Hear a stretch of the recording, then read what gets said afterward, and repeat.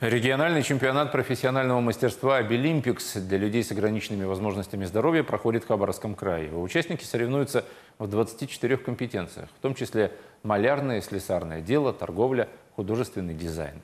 Сегодня на площадке Хабаровского технологического колледжа определяли лучшего среди поваров. О том, как это было, в репортаже Арины Солдатенковой.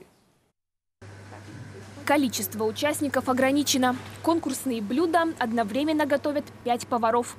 Столько рабочих мест на кухне Хабаровского технологического колледжа. За работой начинающих поваров наблюдают эксперты из колледжей и техникумов. Оценивать работу своего студента запрещено. Нельзя разговаривать между собой, подсказывать участникам и заходить в их рабочую зону. Обмолвиться словом с одним из конкурсантов удалось только на общей части кухни.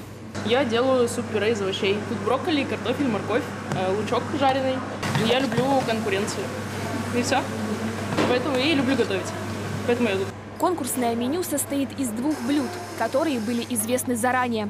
Суп-пюре и суфле из рыбы. На их приготовление отвели три часа. Эксперты фиксируют малейшие недочеты.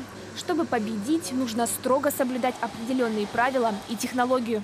Импровизация разрешена только в оформлении блюд правильно держать нож, а, правильно работать с оборудованием, а, правильно работать кухонными разделочными досками, правильно расставить в холодильнике товарное соседство, то есть продукты правильно расставить по полкам. По кухне уже раздаются ароматы, это значит, что блюдо почти готово к подаче.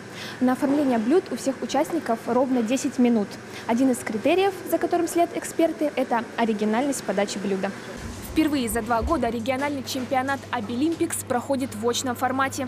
Он собрал более 200 участников и 160 экспертов. Цель участия в конкурсах профмастерства – это, во-первых, мотивация студентов на дальнейшее трудоустройство. Они должны показать свои компетенции, которые они получают в процессе получения образования эм, погружаются да, в, в, в такую стрессовую ситуацию, в рамках которой они уже выходят подготовленными специалистами. Победители в каждой из компетенций станут участниками национального чемпионата «Обилимпикс», который по традиции пройдет в Москве. Арина Солдатенкова, Сергей Демьяненко, телеканал «Губерния».